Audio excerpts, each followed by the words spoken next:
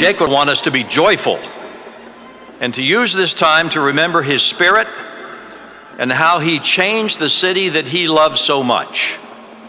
I believe he would want us to leave here with smiles on our faces, joy in our hearts, and with a purpose to make Jacksonville a better place for everyone.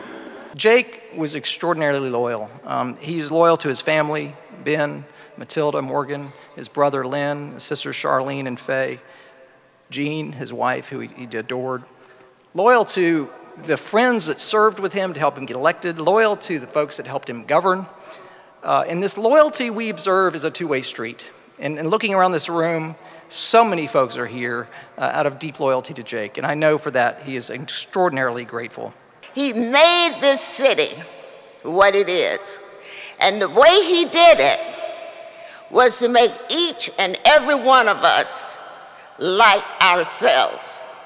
He said, if you don't like you, you're not going to make anybody else like your city. If you don't like this city, Betty, then you ought to move. What a wonderful world.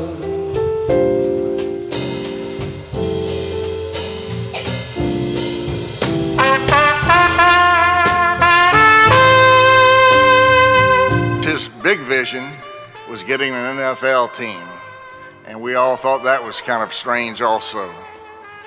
The difference with Jake, he not only had the vision, but he also had the energy to make the vision a reality. Perhaps a vision without the energy is just an illusion. Always simply known as Jake. I will always remember Jake Godbold as mayor, my friend, and as a fighter for change, he only wanted people to do the right thing. Everything from waterfront development to downtown development to arts and culture. And we were very fortunate to have such an tra energetic, transformational figure as mayor of our community.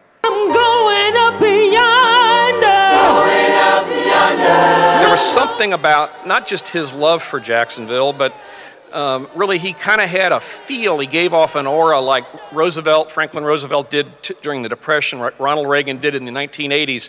He instilled hope.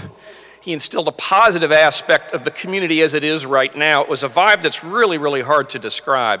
Rest assured, there is no RIP, you know how they put those on, resting in peace for him. Oh no. He told Rick Catlett and me many times, all I do is beat those damn drums. And he would tell us in, in lunch and he'd have the thing. And he said, I have to, I have to keep the city enthused. Well, we know what he's doing in heaven. He's beating those damn drums.